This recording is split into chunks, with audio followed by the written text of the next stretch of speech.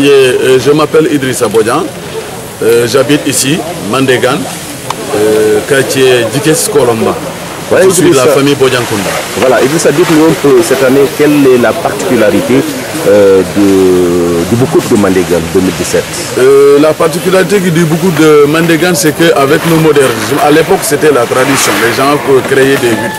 Aujourd'hui, nous avons des bâches. Aujourd'hui, nous avons le net. Aujourd'hui, nous avons les vidéos, etc. etc. C'est avec ça que nous utilisons aujourd'hui pour pouvoir moderniser le bois sacré. Nous, au lieu d'utiliser les huttes, nous avons utilisé des bâches. C'est déjà quelque chose de moderne. Même pour tuer, par exemple, des bœufs, etc. Il fallait donc appeler un vétérinaire qui doit consulter les bœufs. Et là, toute personne qui viendra et qui aura un morceau de viande va manger ce morceau de viande avec beaucoup de comme. Et nous savons que justement euh, cette euh, euh, cérémonie est une cérémonie d'initiation, comme on l'appelle en français. En quoi est-elle justement une cérémonie d'initiation? Euh, on l'a appelé une cérémonie d'initiation parce que ça permet à l'enfant de comprendre euh, le savoir que détient sa famille.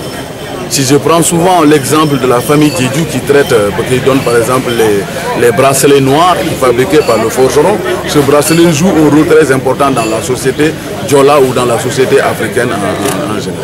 Pourquoi? Parce que souvent on nous dit que quand l'enfant a le corso, si l'enfant a le corso, on peut prendre ce bracelet, on le met par exemple dans un objet contenant de l'eau chaude, en sorte de l'eau froide, on va essayer de bouillir avec le, le bracelet. Ce bra- cette eau, une, une fois refroidie, on lave l'enfant, ça peut aussi soigner euh, certains boutons qui, qui apparaissent, etc. Alors certaines familles comme par exemple il y a la famille aussi Djemé qui se trouve à Guinée qui soigne la cataracte. Cette cataracte ici à Mandégan ça se soigne avec 75 francs. Euh, alors alors qu'à Dakar il faut que vous fassiez par exemple on vous dit il faut faire des analyses, il faut amener des traits etc., etc., ou bien des prélèvements. Ici on le soigne le même jour et on, vous demande seulement 75 francs et vous pouvez rentrer. Et c'est c'est au moins justement pour renforcer la citoyenneté. Évidemment, c'est au moins pour renforcer la citoyenneté. C'est pourquoi d'ailleurs, c'est pas trop cher.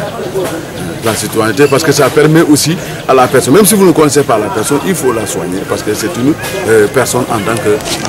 Nous ne soignons pas la personne parce que c'est un parent ou un cousin, etc.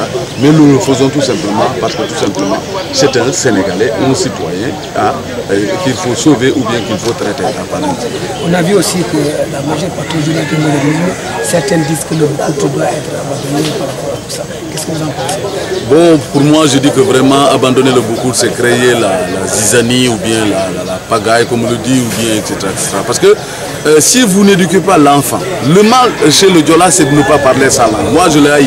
J'ai fait l'Italie, j'ai fait euh, la Corée du Sud, j'ai fait euh, j'ai fait l'Inde. Et partout, même quand j'écris mes mémoires, je termine par Kasoumaïni Safo. Pourquoi je suis fier d'être Diola je n'ai pas choisi d'être Diola, c'est Dieu lui-même qui m'a choisi, qui a choisi de me mettre dans une famille Diola. Et je dois avoir le courage et la fierté de parler ma langue.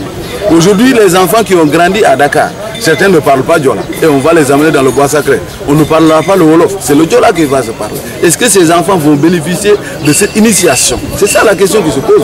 Je dis souvent aux parents, c'est un drame. Et c'est honteux que le Serer ou le Diola ou le Bambara ne peut pas parler sa langue, alors que le Wolof à côté parle sa langue. Et c'est par la langue qu'on peut éduquer ou qu'on peut former un enfant. Si celui qui ne parle pas sa langue, c'est quelqu'un euh, qui haït non seulement sa langue, et vraiment, moi je ne crois pas qu'on puisse, par exemple, sans le bois sacré ou le boucout en Diola, on- que le Diola puisse réussir l'éducation intégrale de ses enfants. Donc c'est au moins pour la restauration des valeurs. Évidemment, c'est au moins pour la restauration des valeurs. Parce que dans une famille, par exemple, si vous êtes aujourd'hui 10 personnes qui initient, ces, qui initient ces enfants, en 2047, est-ce que ces 10 personnes vont vivre? Certainement une peut, par exemple, survivre. C'est cette personne qui doit dire aux enfants, voilà ce que faisaient nos, nos- nos parents, etc., etc. Sinon, ce sera une perte.